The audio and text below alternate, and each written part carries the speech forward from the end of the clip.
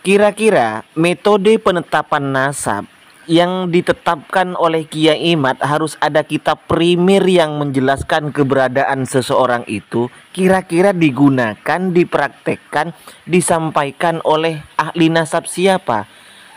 Terdapat di kitab apa dan halaman berapa? Tolong yang tahu untuk memberitahu saya.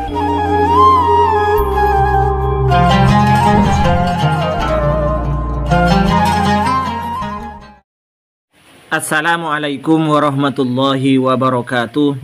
Alhamdulillahi rabbil alamin. Wassalatu wassalamu ala sayyidina Muhammadin asrafil mursalin. Wa ala alihi wa sahbihi ajmain. Amma ba'du. Sahabat-sahabat aswaja, seluruh nahdiyin, para subscriber dan penonton semuanya tanpa terkecuali di mana pun berada. Semoga Allah subhanahu wa ta'ala senantiasa memberikan rahmatnya, taufiknya, hidayahnya maghfirahnya memberikan kelancaran rezeki dan kesehatan kepada kita semua tanpa terkecuali. Amin. Allahumma amin. Bagi saya sendiri pribadi ya bagi saya pribadi apa yang disampaikan statement yang disampaikan atau riset ilmiah yang disampaikan oleh beliau Kiai Imaduddin Usman dari Banten itu bisa menggugah hati saya untuk terus belajar. Yang asalnya saya itu tidak paham tentang masalah nasab bagaimana itu. Akhirnya dengan beliau saya pribadi bisa buka bisa tahu ini kitab ini kitab ini dan bisa membaca apa isi di dalamnya. Mari kita jadikan metode atau hasil riset yang disampaikan oleh Kiai Imaduddin Usman tentang nasab ini sebagai pemacu semangat kita untuk terus mencari ilmu untuk menggali ilmu yang luas ini. Sebagaimana kita tahu sebelumnya bahwa nasab Ba'alwi itu dikatakan ingkito ya, dikatakan terputus selama 550 tahun. Bahkan Kiai Nur Ihya itu mengatakan 650 tahunan lebih terputusnya kayaknya seperti itu. Kenapa dikatakan terputus? Karena di kitab-kitab nasab abad-abad itu tidak terbukukan, tidak tertulis yang namanya Ubaidillah itu adalah putra dari Ahmad uh, Al-Muhajir. Kata beliau, di dalam kitab Asy-Syajarah Al-Mubarakah yang dinisbatkan terhadap Imam Fahrur Rosi, kalau memang betul itu karangan Imam Fahrur Rosi, di situ tidak dituliskan bahwa Ahmad bin Isa ini, Al-Muhajir ini punya putra yang namanya Ubaidillah. Dari inilah diasumsikan bahwa Ubaidillah itu adalah tokoh fiktif jika dinisbatkan terhadap putranya Imam Ahmad Al-Muhajir. Padahal kalau kita mau jujur ya, kalau kita mau jujur antara Fakhrul Rosi dengan Imam Ahmad Al-Muhajir ini sudah ratusan tahun juga, bukan kitab primer juga ini untuk menyatakan bahwa Ahmad bin Isa ini tidak punya putra yang bernama Ubaidillah. Baik teman-teman kita kembali lagi ke metode penetapan nasab yang disampaikan oleh Kiai Imat Yaitu adanya kitab primer yang menjelaskan keberadaan nasab seseorang Kalau ada ahli nasab yang jauh 500 tahun misalnya menulis keberadaan Ubaidillah adalah putra Ahmad Al-Muhajir ini tidak diterima. Nah yang yang jadi iskal pada saya, keiskalan saya terhadap metode ini Benar-benar saya tidak tahu ini. Mohon teman-teman yang tahu ya, bagi yang tahu silahkan disampaikan. Tolong e, buktinya. Di kitab apakah tertulis bahwa metode kusimat ini sama dengan metode yang ditetapkan oleh ulama-ulama ahli nasab terdahulu.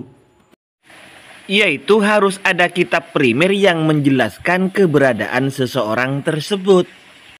Kalau ada tapi sudah jauh, ini bisa dikatakan ingkito riwayat berarti orang tersebut tidak terkonfirmasi secara ilmiah menjadi nasabnya atau menjadi putranya Ahmad Al-Muhajir. Nah, ini yang menjadi iskal ke saya. Siapa kira-kira ulama yang menetapkan harus ada kitab primer yang menjelaskan keberadaan Ahmad Al-Muhajir misalnya putranya ini ini ini. Siapa nama ulama tersebut? tolong tunjukkan ibaratnya, tunjukkan referensinya. Karena yang saya tahu selama ini cara isbatun nasab, cara penetapan nasab itu tidak sama dengan penetapan nasab yang disampaikan oleh Kiai Imaduddin.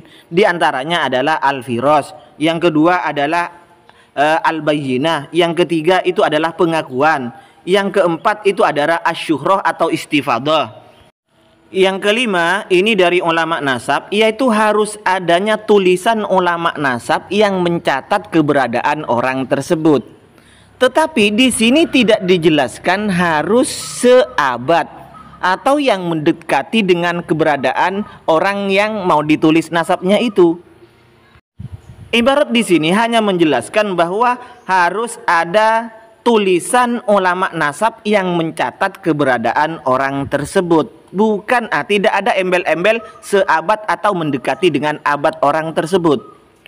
Yang keenam, orang yang mengaku bernasab terhadap Rasul misalnya itu harus mendatangkan nama-nama ayahnya, nama-nama kakeknya terus ke atas disertai dengan bukti-bukti sejarah yang konkret. Yang ketujuh, yang terakhir adalah kiafah. Kiafah di sini bisa kita artikan sekarang kepada tes DNA. Tetapi tujuh syarat ini bukan harus semuanya ada pada seseorang itu tidak. Salah satunya saja sudah cukup sebagai bukti penetapan nasab ini yang disebutkan oleh ulama fikih dan, dan juga disebutkan oleh ulama nasab. Lah makanya saya timbul keiskalan kalau metodikus imat ini kita pakai katakanlah itu adalah hasil beliau sendiri misalnya atau memang ada ulama yang menyebutkan harus ada sezaman misalnya. Nah, bagaimana kalau hasil penelitian Kiai Imat ini yang harus ada ulama nasab yang sezaman, yang seabad mencatat nasab orang tersebut, ini kita terapkan misalnya terhadap ulama lain, terhadap duriyah Rasul yang lain, misalnya Syekh Abdul Qadir Jailani. Dari ini saya mohon bantuan teman-teman ya untuk mendatangkan kitab kitab nasab yang menjelaskan nasab Syekh Abdul Qadir Jailani yang sezaman yang seabad dengan Syekh Abdul Qadir Jailani.